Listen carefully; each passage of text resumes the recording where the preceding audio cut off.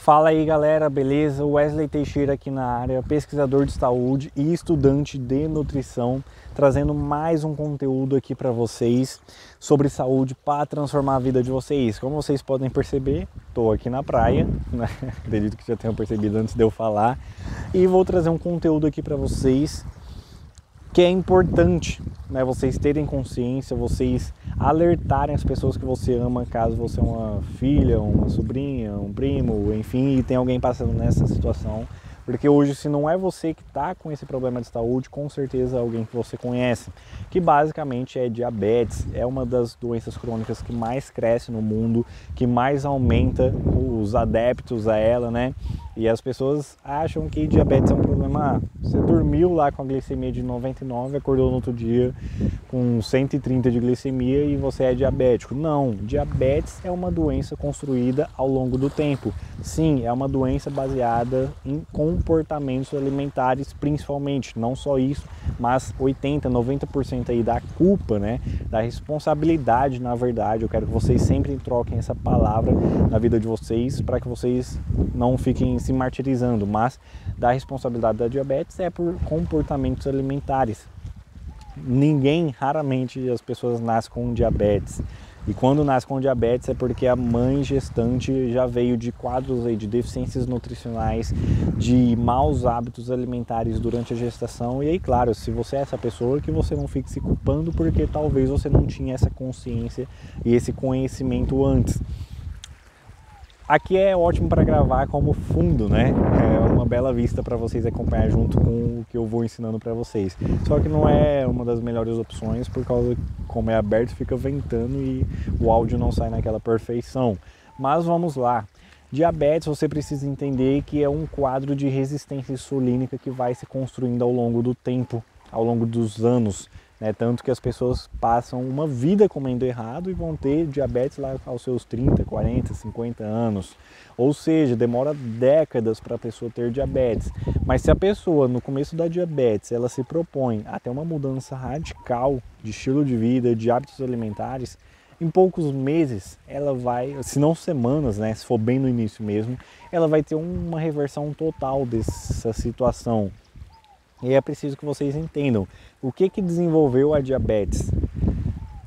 Resistência insulínica, deficiência nutricional, que pode prejudicar ainda mais a resistência insulínica, sedentarismo, estresse, são os quatro principais pilares aí para desenvolver um quadro de diabetes. Ou seja, se é estresse, você precisa ter práticas aí de controle emocional, meditação, yoga, passear num parque, ter contato com a natureza, tudo isso vai ajudar mas principalmente, como eu disse, hábitos alimentares e deficiências nutricionais. E eu quero comentar nesse vídeo os principais suplementos para ajudar nessa questão. Né? Já tem outros vídeos meus falando sobre diabetes, mas eu quero trazer um, um, de forma um pouco mais abrangente a questão da suplementação para diabetes. E claro, tem vídeos meus também comentando sobre vitamina D, magnésio e tudo mais. E por que, que esses nutrientes ajudam? Porque eles vão contribuir ou na questão da modulação da insulina no pâncreas, e ou na questão dos receptores de captação de glicose no nosso corpo para a produção de energia. Então, por uma dessas duas maneiras, o nosso estado nutricional vai contribuir de forma positiva ou de forma negativa, de forma a ajudar, né, de forma a contribuir ou de forma a prejudicar esse quadro todo. E o que, é que acontece? Alguns outros nutrientes que podem ajudar é basicamente o seguinte: glutamina, primeiramente porque é um dos principais nutrientes para a saúde digestiva para permeabilidade intestinal. Se você é uma pessoa que deixa que mantém a integridade intestinal, você vai ser uma pessoa com menos inflamação intestinal. Menos inflamação intestinal é menos inflamação sistêmica no corpo todo. Ou seja, o que inclui o pâncreas. Um pâncreas menos inflamado, ele vai produzir de insulina de forma mais efetiva, ou seja, vai ter essa modulação toda. Os receptores vão estar mais sensíveis a receber essa insulina que serve como um porteiro para abrir a chave da célula para a glicose entrar e ser usada como fonte de energia. Ou seja, a glutamina age por diversos meios, né? Na nossa fisiologia para ajudar nessa questão de resistência insulínica. Ela de fato age de forma direta também nos receptores de, é, das células para captação de glicose. Outro suplemento que pouca gente fala, para não dizer ninguém, sobre o efeito do, é, da insulina no nosso corpo é a creatina. É um dos suplementos aí muito falado por quem pratica musculação ou exercícios de forma geral. E a creatina é um dos suplementos essenciais, né, necessários para a saúde como um todo, para a saúde neurológica, para né, estudos mostrando em tratamento de depressão, obviamente para performance física como um todo, e também é um dos nutrientes que ajuda a célula na captação de glicose da corrente sanguínea para ser usada como fonte de energia. Então, um suplemento aí muito que traz muito benefícios no médio e longo prazo. Outro suplemento importantíssimo é a vitamina C, tanto que é o mesmo receptor usado por glicose é o mesmo receptor usado por vitamina C, ou seja, se você ingere vitamina C e come algum alimento açucarado, muito provavelmente o açúcar vai entrar primeiro, ou seja, aquele receptor vai estar ocupado e a sua vitamina C não vai ser usada como deveria.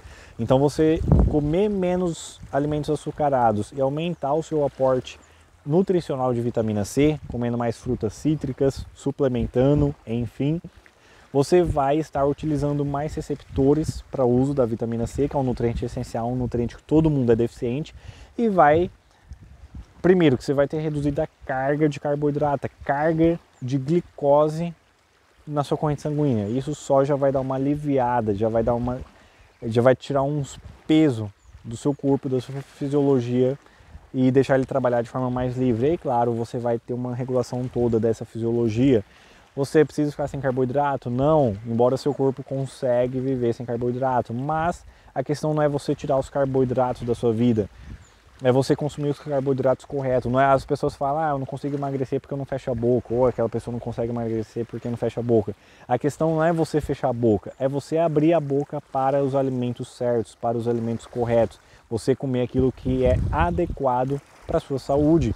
Você é, ter um equilíbrio nessa questão de consumo, né, de ingestão e daquilo que você deixa de consumir.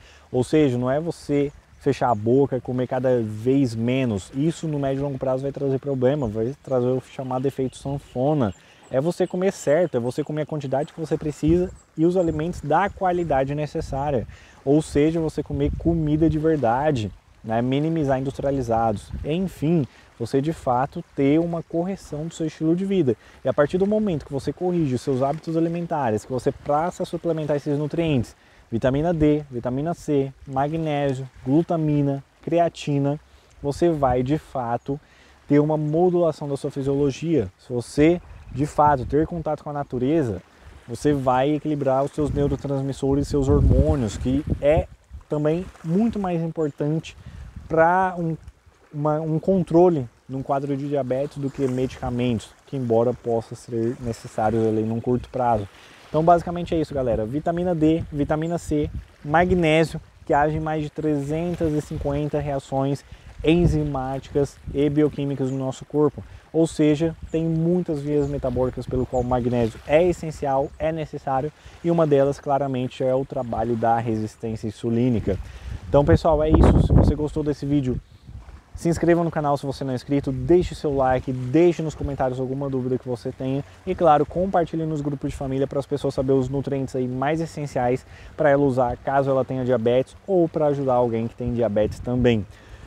Finaliza aqui com essa vista para vocês desse rio, dessa vista maravilhosa e claro, entre em contato com a natureza porque tendo diabetes ou não, tudo isso vai ajudar na vida de vocês. Tudo de bom para vocês e até o próximo vídeo.